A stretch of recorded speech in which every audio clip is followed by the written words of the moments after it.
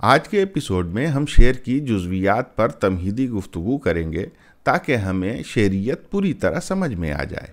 यानी पोइट्री में पोइटिक्स पर एक इंट्रोडक्टरी बात की जाएगी। इसलिए इस वीडियो को आखिर तक ज़रूर देखें।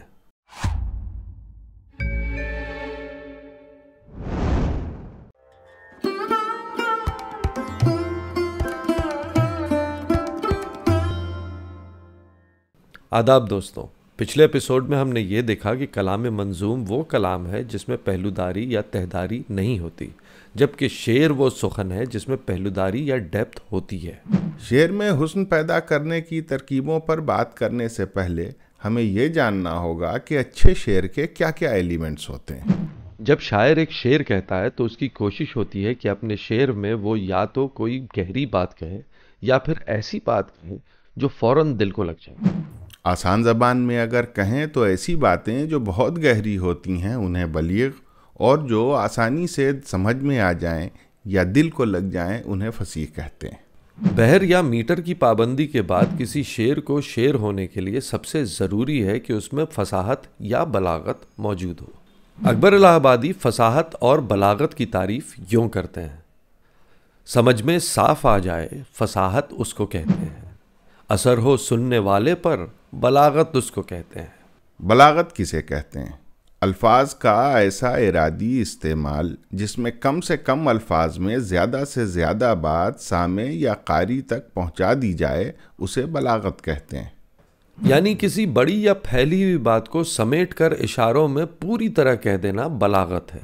मिसाल के तौर पर मुर्तज़ा अजहर रिजवी साहब का ये शेर देखिए। बिकना ही मुक़द्दर है तो बिक जाएँगे लेकिन यूसुफ की तरह कसर जुलेखा में रहेंगे। इस शेर के दो अल्फाज यूसुफ और जुलेखा ने एक तवील दास्तान का बयान मुकम्मल तौर पर कर दिया है जिसमें यूसुफ का बाज़ार मिस्र में बेचा जाना और फिर जुलेखा का उनके हुस्न पर फिदा होना शामिल है।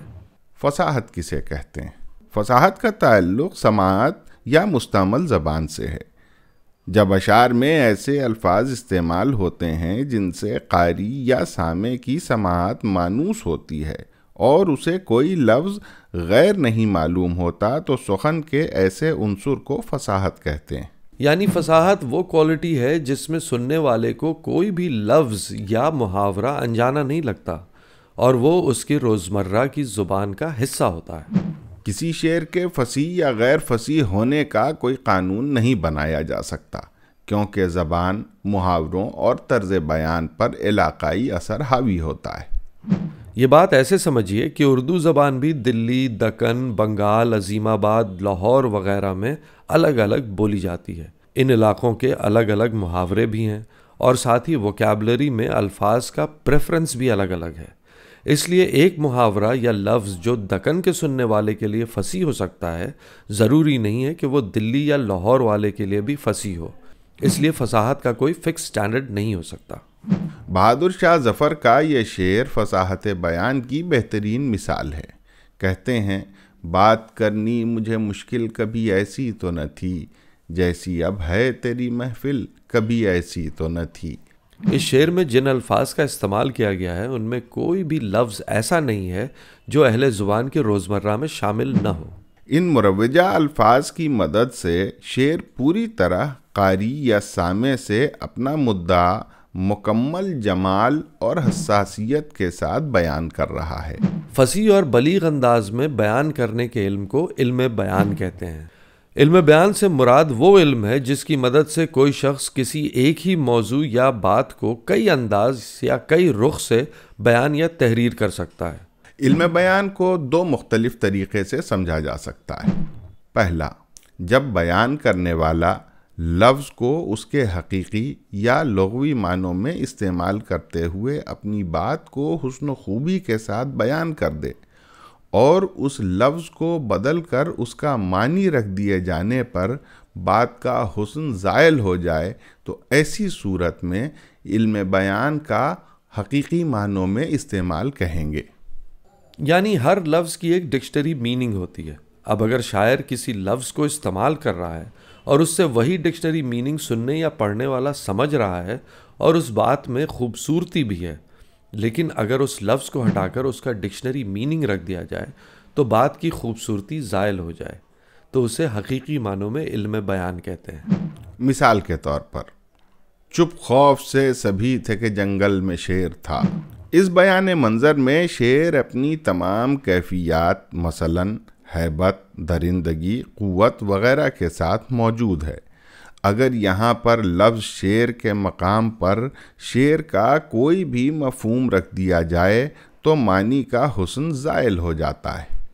जब हम लफ्ज़ शेर इस्तेमाल करते हैं तो हम उसे उसकी कलेक्टिव क्वालिटी के साथ परसीव करते हैं। जैसे शेर का मतलब दरिंदा सिर्फ़ शेर नहीं होता। ताकतवर शेर की एक क्वालिटी है, मगर ताकतवर सिर्फ़ शेर ही नहीं हो सकता। इस तरह इस मिसरे में लफ्ज़ शेर की जगह उसका कोई भी मानी रख दिया जाए तो बात ख़राब हो जाती है और उसकी ब्यूटी ख़त्म हो जाती है।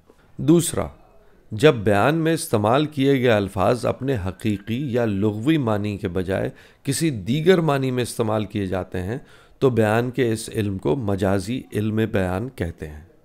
मिसाल के तौर पे शमशीर बकफ शेर था रूबाह के दल में। इस मिसरे में लफ्ज शेर से मुराद जंगल का वो चार पैरों वाला हैवान नहीं है बल्कि शेर से मुराद एक बहादुर सोल्जर है। और लफ्ज़ रूबा से मुराद गीदड़ नहीं बल्कि बुजदिल दुश्मन है जिनके मुकाबल वो बहादुर तलवार लेकर जंग करने के लिए आया है। तो दोस्तों आज हमने समझ लिया कि बयान के कितने पहलू होते हैं। अगले एपिसोड में इस गुफ्तु को हम आगे बढ़ाएँगे। जाते जाते एक मश्क आपके लिए। कमेंट बॉक्स में हमें हकीकी और मजाजी इल्म बयान की मिसाल का एक एक शेर लिखें ताकि हमें भी पता चले कि हम अपनी बात आप तक किस हद तक पहुँचा पाए। तब तक रेडियो उर्दू सुनते सुनाते रहिए। खुदा हाफिज़।